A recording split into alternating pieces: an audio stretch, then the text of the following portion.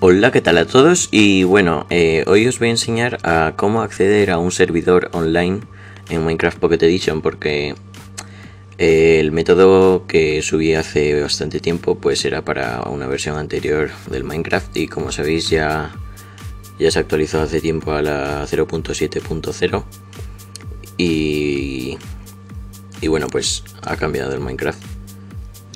Y como veis pues el diseño ha cambiado eh, esta versión del Minecraft es la versión 0.7.2 alfa, eh, no es la 0.7.0. Y bueno, en, esta versión han cambiado algunas cosillas sin importancia. Pero bueno, eh, cuando entramos en los realms, os registráis y tal, permitidme registrarme.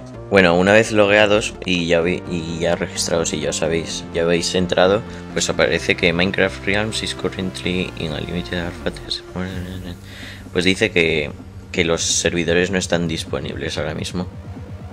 Que, probamos, que probemos más tarde. Y así pues más tarde y hasta el infinito más allá. Y pues eso nos deja jugar en multijugador, que es la que la mayoría de gente busca en este juego?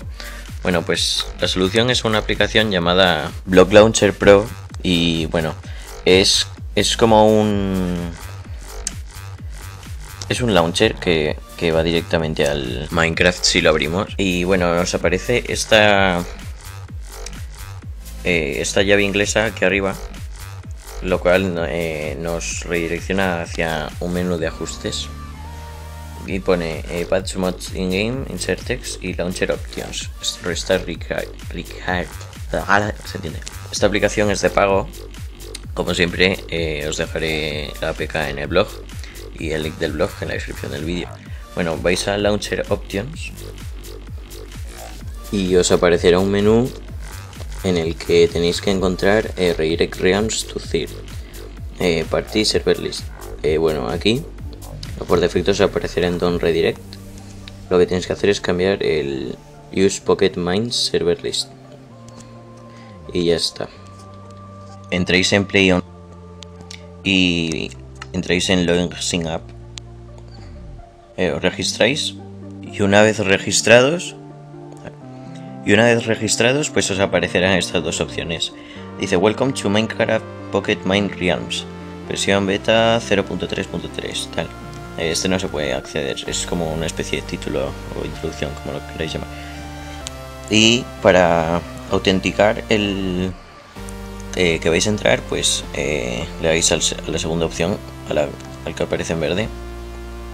Dice Could not connect outlet client. Os aparece otra vez en el menú principal, le dais otra vez a Play Realms y ya está. De lo y bueno, aquí nombre y todo eso. Todos y a partir de aquí el audio se me empezó a distorsionar y, y todo eso. Bueno, en realidad decía sobre los, los servidores de los juegos del hambre que hay que se llaman Livebot y que os dejaría en la descripción del vídeo eh, los links los links necesarios para descargar la aplicación. Block Launcher Pro. Esa misma, Block Launcher Pro. Para que podáis acceder.